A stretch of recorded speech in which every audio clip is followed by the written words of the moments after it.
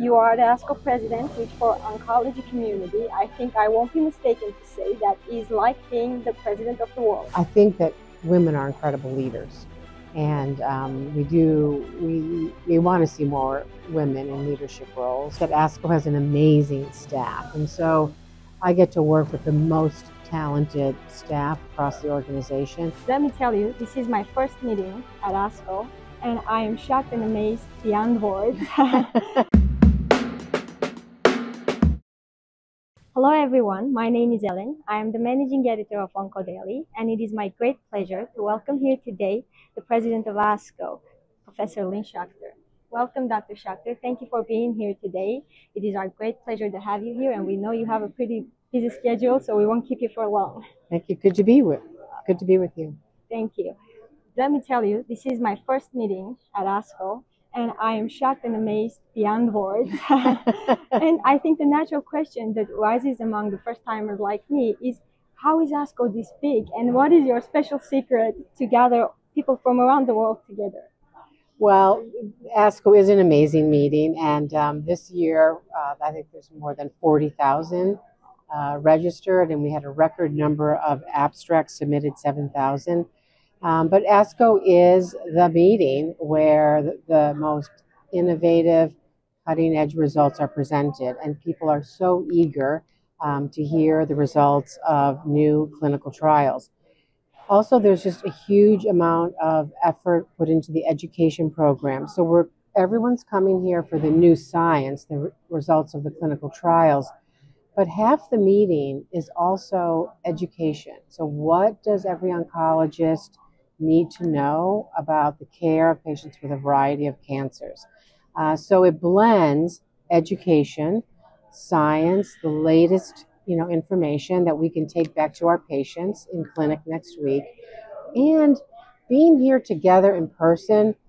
Everyone's able to network, be together. I mean, you can feel the excitement Yes. here, and um, with great intention, you know, we have areas for people to meet, they can be outside, they can gather. That's a really important part of this.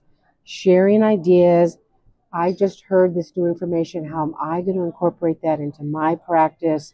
What do you think about it? So, and and you know, we train from all over the world. People have an opportunity to see, opportunity to see their old friends. So, a lot of needs get met at this annual meeting.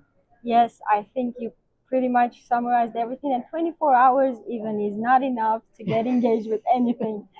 Right.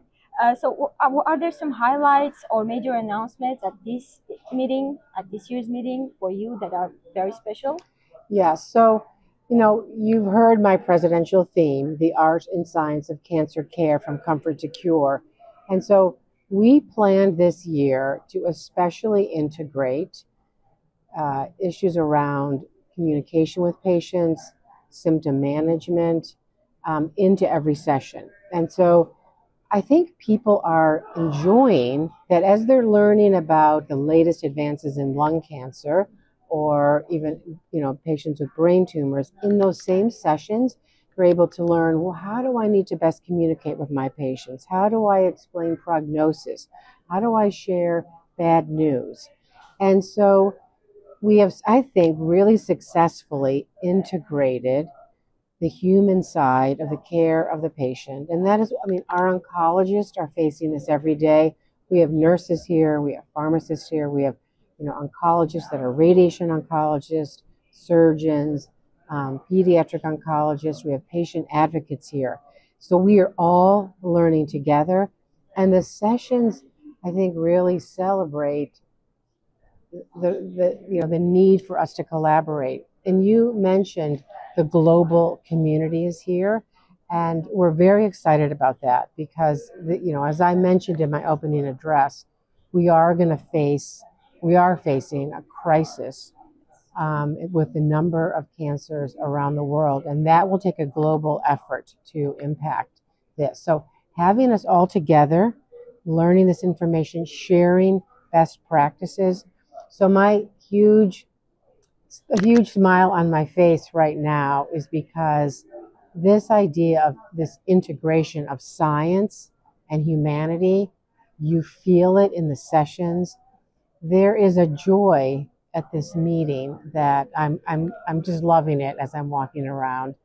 And I mean amazing results. Our plenary session had spectacular results, you know, across many different disease types. So yeah, been a fantastic 24 ASCO.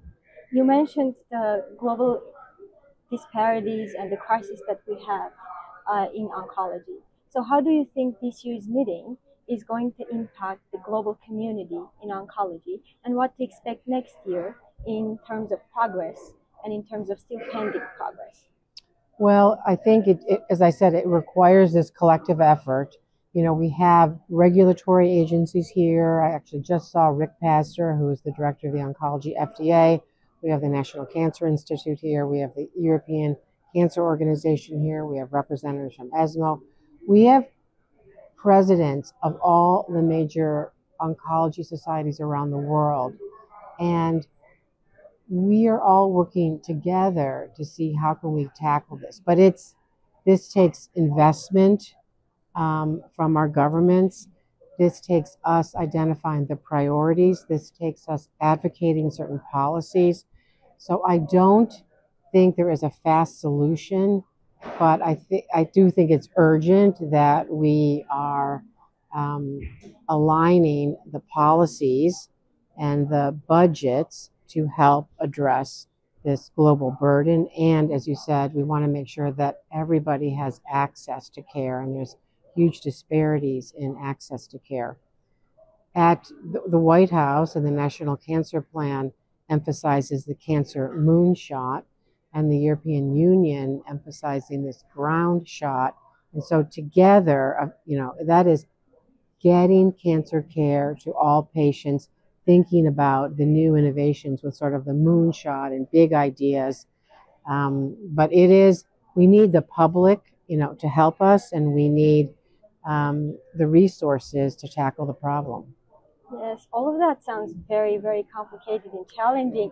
And just to see uh, this much uh, happening at the annual event, I'm guessing that being the ASCO president full time is even more challenging. So, how do you manage and balance being the ASCO president with your other professional activities and personal life? Great question. Well, you know, you probably have figured out that ASCO has an amazing staff. And so I get to work with the most talented staff across the organization. And ASCO is blessed to have so many volunteers. So, again, clinicians, nurses, patient advocates from around the world sit on our various committees to do the work of this meeting. So, it's been a really um, special year. And I've been able to travel around the world and meet so many people. Um, I do have a busy practice at the University of Pennsylvania. I, I direct the Tara Miller Melanoma Center there. And um, so it is hard to balance. And um, I have twin boys who are 24, and, um, and they were here at the meeting, which they've never been to ASCO before. So it's been, um, it's been, there are challenges to figure out how to balance all this, but I've loved it and have had, you know, tremendous support um, you know, in my home life um, and at my home institution and um, at ASCO to get this all done. Do your sons like the meeting? Are they planning to come back? I don't know. They did really enjoy it, and they because they got the badges. They walked through, and they were they were stunned, as you just said, by the size of it, by the complexity of it. They, they had no idea. They know I go to ASCO every year. They didn't really know what that meant. And so it's good for them to have an appreciation for uh, what is happening when I'm away. Yes. Yes. Yeah. Let me say, you are the ASCO president, which for oncology community, I think I won't be mistaken to say that is like being the president of the world. so. I would not agree, but. what would your advice be to young aspiring leaders uh, or people who are trying to become leaders, especially for women? throughout their career uh, to work for and to aim for to become the president of the world? well, my advice would be I mean, what one is that, um, well, I think that women are incredible leaders. And um, we do, we, we want to see more women in leadership roles. Um, and ASCO's done a phenomenal job there. 61% of the ASCO board right now are women. Um, and ASCO has a number of leadership development programs. But one thing I want to mention is is about intention. So you asked me about, you know, this meeting, but the planning of how I wanted this to go and the integration of my message began two years ago. It began with the selection of who the education chair was, Dr. Tom LeBlanc. He is a leukemia physician, but he's also a palliative care physician. So I and I and my main reason for running to become ASCO president was the platform really that I've shared with you and the presidential theme. And so whatever leadership role, whatever, you know, that person is trying to move something forward, just it you, there is so much intention and planning around that. And there are many steps to that. So I, I think it's an important part of leadership is understanding the what what you need to do to then achieve your vision. There is much intention about that. It's a very important skill. We need to have a plan. Yes. Very yes. detailed plan. Yes. Yes. Yes. Yes. To end the interview, could you name uh, some of the highlights and milestones of your career that you feel are so important to lead you here today? Yes. Well, one, I've had um, great mentors myself, and you know, we're using this other term called sponsors Sponsors are somebody who more publicly advocates for you and helps you, um, uh, you know, have new opportunities. So, uh, Dr. John Glick, um, who's my mentor at the University of Pennsylvania, he's a past ASCO president. He really helped me, I think, ultimately to get more involved with ASCO.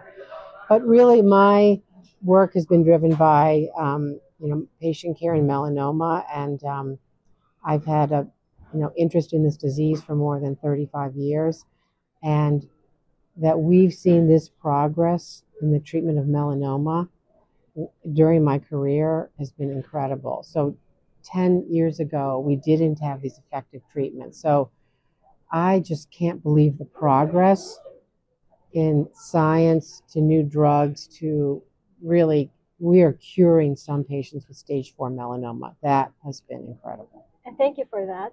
Thank you for being here today and accepting our invitation. It was a pleasure. I hope to see you next year. Very good. Very nice to meet you. Enjoy. You. Okay. Don't forget to like, comment, share, and subscribe to OncoDaily on YouTube. Hit the bell icon to stay updated.